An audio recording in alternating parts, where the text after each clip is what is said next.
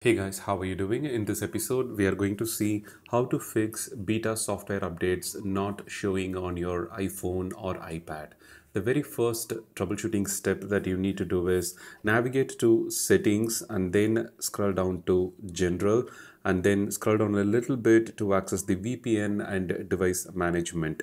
In this section, check whether any enterprise profile or any organizational profile installed on your device. If the page looks clean like this, then you don't have to worry. But if there is any enterprise profile installed, then the profile can limit whether you can download the beta software update or not. If any other third-party profiles installed, you can remove it and then restart your iPhone and then check by going into the settings general and then the software updates section. You will see the beta updates toggle here. Some people are not seeing the beta updates toggle at all. After few seconds of waiting, they simply see that their current iOS version is up to date. As you can see, when I navigate inside the software update section, it takes few seconds and sometimes even more than that. And it simply keeps on saying checking for update, you know, to display the beta updates toggle here.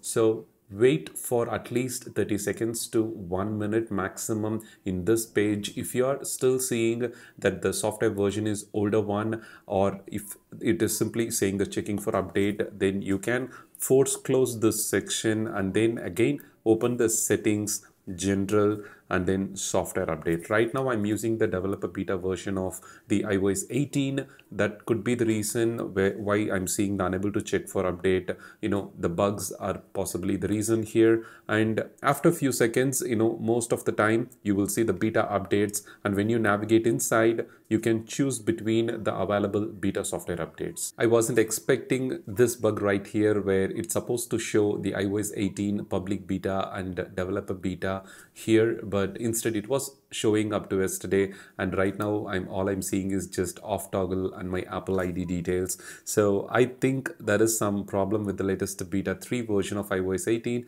Let me restart the iPhone uh, and then come back so that this sort of problems can be fixed. So here I have restarted and navigate back to the settings general software update section and you can see the iOS 18 public beta and the developer beta instead of the previous, you know, uh, the only off was selected. So there are plenty of bugs, you know, possible uh, that could make you to not see the software update, the beta updates in this section. So simple restart most of the time helps you to fix that problem as you were seeing it live with this video that I had encountered this problem. All right. Even after waiting for few minutes, if you're not seeing the beta updates, navigate to settings, general and then perform a transfer or reset then reset then perform the reset all settings. If there is any software related reason that causing the issue where you know only your device your iphone or ipad unable to see the beta updates toggle then performing in all settings reset will also help to fix such issue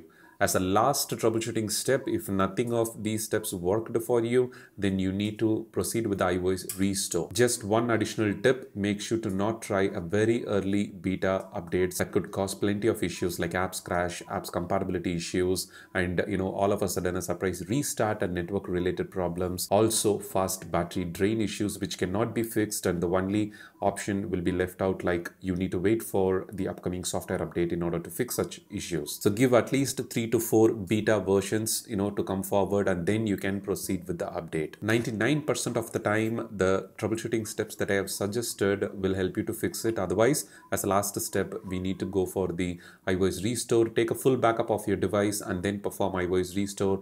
That will definitely help to fix the issue where you are unable to see the beta software updates on your iPhone or iPad. If you find this video useful, don't forget to subscribe for more useful iPhone, iPad and Mac related tips and tricks. Thank you so much for watching. Have a wonderful day.